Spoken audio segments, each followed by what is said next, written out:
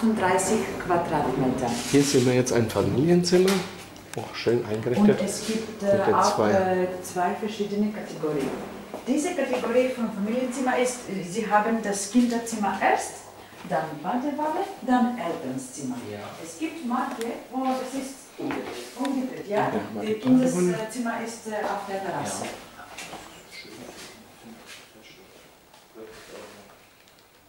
Super schön. Man hat halt daraus, man kann halt draußen sitzen.